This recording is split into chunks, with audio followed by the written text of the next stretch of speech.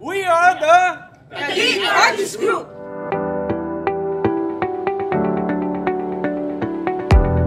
This is actually my long, long mission, vision, and my advocacy for the arts and culture na mapag-isa ko ang mga uh, Tagig artist.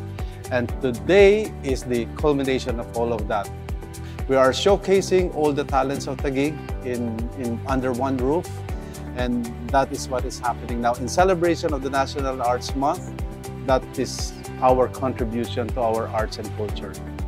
The intention ng artist group is actually para ma-formulate yung lahat ng artists dito sa Taguig to bind them together for a specific purpose and to bind them for camaraderie, encouragement regard to their arts, at the same time, being active then with regard to the cultural work here in Taguig.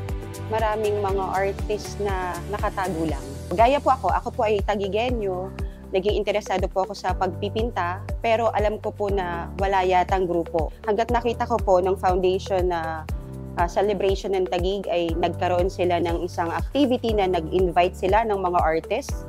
So hinanap ko sa Facebook yung mga pangalan nila at doon po nagsimula na nakita ko rin po yung mga kapwa artists. So yung mga ganito pong uh, event, naghihikayat at nagbibigay impormasyon sa mga iba pang artists na meron pong mga ganitong okasyon.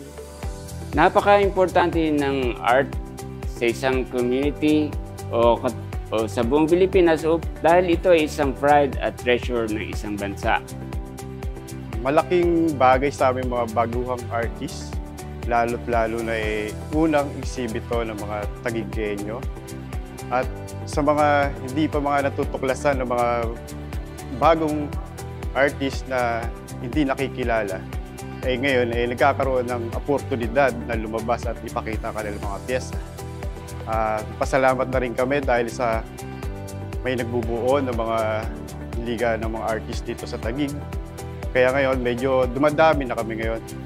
Importante ang Tagig Artist Group at ang ganitong formation ng group ng mga artist dahil ako naniniwala na ang art o ang sining ay kaluluwa ng isang kultura.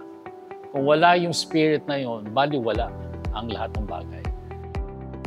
I'm very happy na meron kayong isang community to na nag, nagpo-promote ng art dito sa Pilipinas. Sigurado naman ang mga tao dito at mga artists na magiging ganun din. Tonight, I would like to thank you uh, for giving your support to our goal to promote Taguig as a transformative, lively, and caring city. When we talk about transformation, when we talk about dreaming of a lively and caring city, hindi po pwedeng maiwan yung history, culture, and the arts.